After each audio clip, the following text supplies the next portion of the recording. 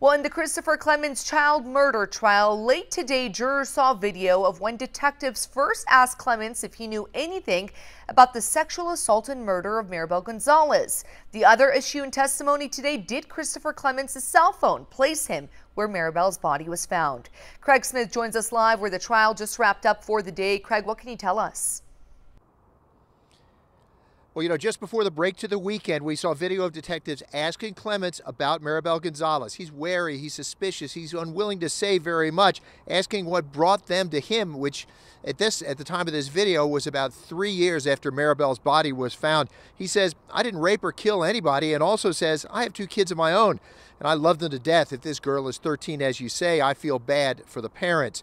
Now, earlier testimony today covered what Clements' cell phone might say about the night Maribel disappeared. A passerby found Maribel Gonzalez's body in a remote part of Avra Valley west of I 10. In court, an expert who learned how to track cell phones during years of police work told jurors what Clements' cell phone reveals. Sy Ray went into business with software that shows phone movements on a map. These are images of Clements from earlier coverage. Cameras were not allowed in court. On the day Maribel Gonzalez disappeared, Ray showed Clements' phone generally moving around Midtown.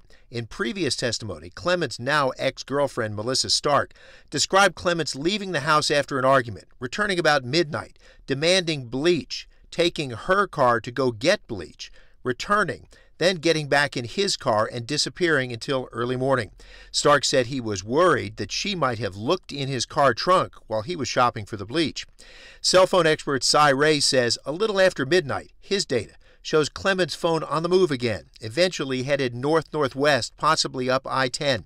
Then the movement slows down about 1245 or so, while the phone was connected to a cell tower that covered the part of Avra Valley where the body was found.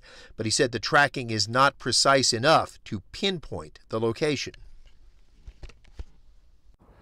Now, in testimony that continued into the afternoon, that cell phone expert said the tracking suggests Clements' phone moved up and down I 10 and the adjoining roads near it where Maribel's body was found. And at about 2:30 a.m., that phone shut down and disappeared from the network, was unable to be tracked at that point.